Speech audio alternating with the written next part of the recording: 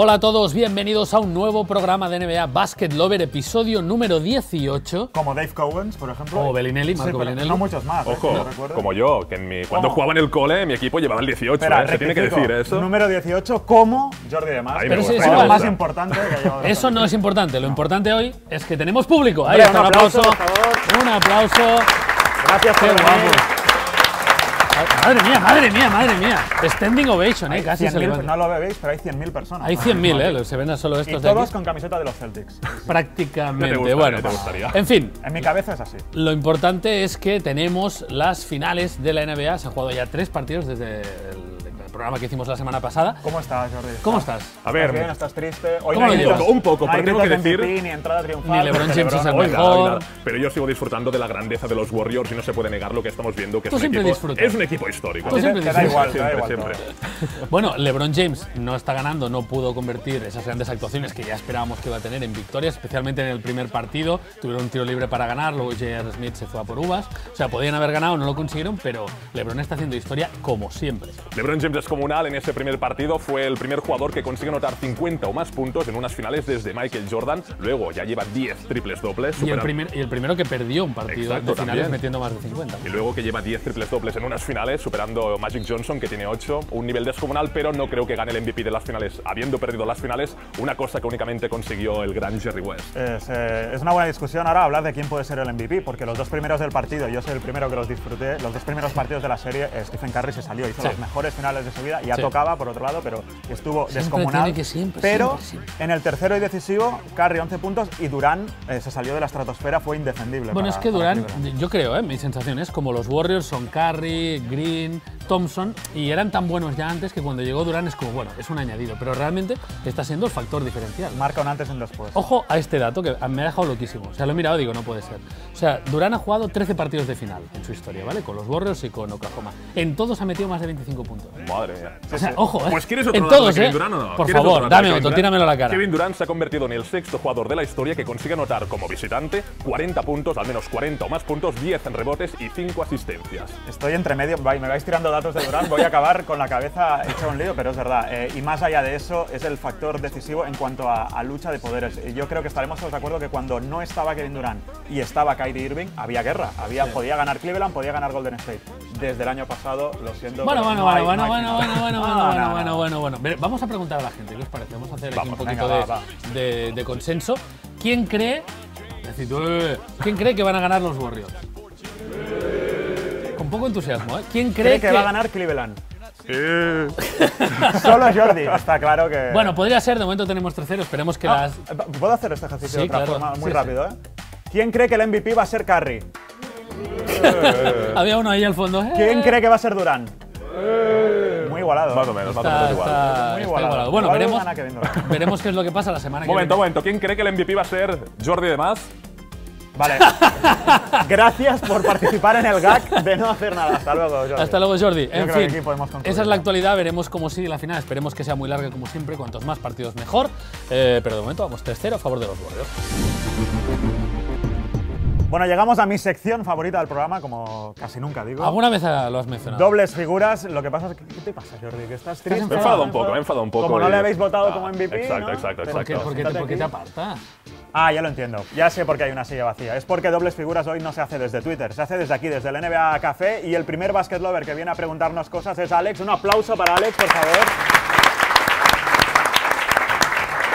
Muy fan de tu camiseta, Alex. Lo que pasa es que antes he ido de listo. Cuando le saludé, digo, eh, eres de los Celtics. y. Me dice, no, soy de los Lakers. Fue un- Fue un regalo de un amigo que fue a correr la maratón a, a Boston y, y bueno, y Larry es el mejor blanco de la historia de, de la ¿Y NBA. no te duele ser de los Lakers y llevar una camiseta de Boston? Para nada. Así Bueno, me es gusta. Buen un inicio, mito. buen inicio. Sabe dónde ha Me venido, cae bien, me cae bien. aquí, Sí, ha sí, sí, dicho. bien, bien, bien. ¿Cuál es tu Un pregunta? poco Alex? pelota era también. Sí, un poco. Hay que, hay que hacerlo. Bien hecho. Pues mi pregunta es, y la duda que tengo es la que tiene casi todo el mundo con, sobre el futuro de LeBron James. Eh, si seguirá anclado en el este, eh, supongo que Cleveland no, pero un equipo con mucho futuro como Filadelfia sería buena opción, o bien dar el salto definitivo a la costa oeste y probar suerte pues en reconstruir la franquicia de Los Ángeles Lakers, Que es que lo que a mí tú- me encantaría. lo que tú querrías. O bien, pues a tiro fijo, pues en los Houston Rockets, ahí con Harden y Paul. Houston es donde más me encaja, no solo porque hay estrellas, sino por la forma de jugar, ¿no? que hay mucho tiro exterior y él podría complementarse. En Filadelfia, en cambio, sería al revés. Eh, a lo mejor se molestarían con Ben Simmons o con la. No sé, no. Necesitarían no una claro. zona más- más Sí. Exacto, exacto. Yo creo que para responder a esa pregunta tenemos que hacer otra pregunta. Es ¿qué quiere LeBron?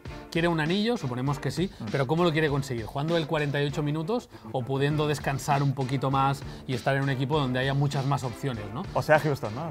Claro, claro, eh, por ejemplo Houston. No sé, yo, yo creo que podríamos... A mí me gustaría que fuera Houston porque me parece que ese equipo sería muy divertido de ver y sería y además me gustaría que Houston volviera a estar arriba. Para mí la cosa se resume en tres opciones, como habéis dicho, Philadelphia 76ers, pero como comenta Dani, yo tengo la duda de saber si pueden encajar con Ben Simmons, dos jugadores con un perfil muy similar. Luego Lakers, si va Lakers y gana el anillo, se convertiría en el único jugador de toda la historia que ha sido capaz de ganar tres anillos en tres equipos diferentes, siendo el líder, el jugador franquicia. Y luego Rockets, a mí me encantaría un Big Three con Chris Paul, Harden, y veremos si se queda o no Capela por el tema de margen salarial. Ahora, aquí hay cuatro personas y parece que nadie cree que se va a quedar, a quedar en Cleveland. No Eso tiene tenemos- no tiene pinta, no tiene pinta, pero Muy bueno. interesante la pregunta de Alex. Un aplauso para él, por favor. Gracias, Alex. Y ojo, porque si la camiseta de Alex tiene una historia, yo creo que esta, la de José, también debe tener. ¿Qué ¿Cómo tal, estás, chicos? José? ¿Cómo estáis? Ojo, Buenos Porque días. Muy fan, muy es un fan. tío que tiene una camiseta de los Wizards, pero no es la típica de John Wall o Bradley Beal. No, no, llevas la de Kelly Oubre. La de Kelly Oubre ¿Por y además, bueno, pues para mí porque es un jugador diferencial, creo que es uno de los hombres de las nuevas caras que, que gusta a la juventud de la NBA. Además, quiero decir que es una camiseta que se compró en el estadio porque no Ojo, se ¿eh? encuentra grande. no se encuentra en internet, me la compró mi hermana, un favorazo que me hizo y Llevas nada. hasta el look de ahí, Un poquito, Me falta un poco, y- me falta un poco de color, estoy yendo a la playa, pero, Bueno, bueno, no mucho, ¿eh? Pero ahí, ahí estamos. Muy bien, ¿qué quieres preguntarnos? Pues mira, eh, estamos hablando antes de LeBron, de jugadores eh, importantes de la liga que tienen que, que cambiar el, el porvenir de muchos equipos. Yo creo que va a ser un verano muy de pivots y se está hablando de Ayton, que incluso todavía no es ni jugador de la liga, eh, Capela, eh, Cousins, pero no se está hablando de Mark. Hace tiempo que se habló de Mark, se ha dejado a Mark un poco en el ostracismo y bueno, yo haciendo un ejercicio de, de- no sé si conocéis estas webs en donde tú puedes jugar a, a si se aceptan un trade sí, o no sí, sí. y bueno, Trade Machine. Sí, Trade Machine. Eh, yo probé con algunos equipos y uno de los que entraba perfectamente a la figura de Mark era Washington. Ah, mira, casualmente. Oh, no estaría mal, ¿eh? No estaría mal. Había otros como Toronto, Lakers, incluso Portland. Yo os quiero preguntar a vosotros, ¿dónde veis a Mark la próxima temporada y dónde creéis que lo puede hacer mejor? Yo creo que donde esté va a mejorar el equipo, evidentemente. Y a mí me gustaría que estuvieran los Celtics. Alguna vez se ha rumoreado. Pero la verdad, lo que quiero es que esté contento. La verdad, a mí me gustaría. Él tiene mucha vinculación con, con Memphis. Me gustaría que pudiera quedarse en Memphis. A lo mejor hay un pick ahí y pueden arreglar las cosas. No parece, pero bueno, estaría bien. A mí lo que me gustaría es que pudiera rendir a un gran nivel y que no fuera un jugador olvidado de la liga. ¿no? Sí. Hace nada fue elegido pues, entre los mejores, el mejor defensor, etcétera, ¿no? Entonces, yo creo que, que ese nivel aún lo puede dar y me sabe mal que por el equipo y la circunstancia no lo pueda dar. A no ser que vaya un equipo que, en el que hay un pivot muy claro, es decir, a Filadelfia no puede ir, por ejemplo, que está en bid, pero en la mayoría de equipos a los que vaya va a mejorar muchísimo el roster y la, y la calidad del, del equipo. Y yo he tirado un poco la toalla con, con esto porque siempre he pensado, para mí, egoístamente, quiero que Mark salga de Memphis para que pueda ganar a anillo, pero es verdad que él tiene una, una relación muy especial con esa ciudad, estudió allí, pasó media vida. Vamos a ver si toma la decisión de dejar Memphis. Para mí, mucho respeto para Marc Gasol, que se convirtió en el primer jugador europeo de la historia en ganar el premio al mejor defensor del año. y lo que te único- sigue en Instagram y Y te comenta, y Ojo, te comenta ojo, fotos. ojo, cuidado. Y yo lo único que pido a Marc Gasol es que vaya a un equipo, sea Memphis o otro, que sea competitivo, que le asegure los playoffs y yo creo que merece ganar un anillo porque gran jugador y fuera de las canchas. es En Washington bestial. estaría muy bien, ¿eh? Estaría muy bien. Ojo, Estaría en bien, estaría Washington bien. estaría Lo merece bien. todo Marc Gasol y lo merece también José. Un aplauso para él, por favor. Gracias. Puño, puño. Ahí. Y ya sabéis, esta semana ha sido aquí en el NBA Café, pero la semana que viene y la siguiente sigue valiendo el hashtag dobles figuras en Twitter. Pues después de las dobles figuras, Dani y Rock llega mi sección favorita. Ah, la tenía que decir, claro, la tenía que decir. que- Cada uno tiene una. Somos Basket Lover y atención con la anécdota que nos va a contar Miquel López. Por favor, un fuerte aplauso para él.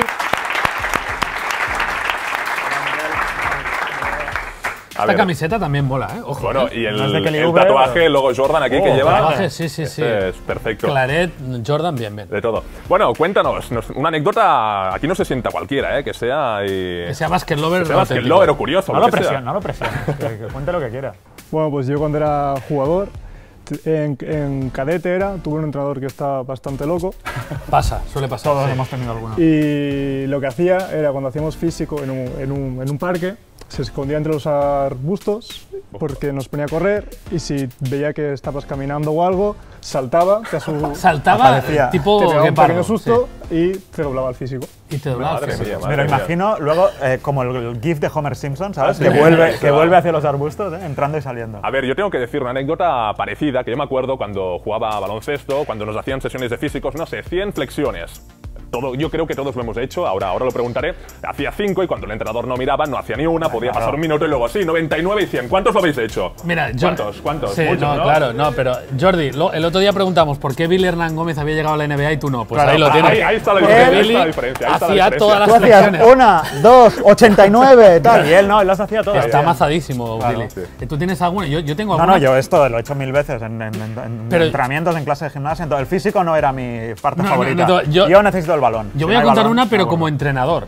Ojo. O sea, ¿Te, yo- te escondías en los arbustos? No, no, no, Ah. no, porque yo ya sabía que hacían trampas, o sea, ¿qué sentido tiene? Entonces yo me quedaba y pensaba, pues es que ya lo sé, o sea.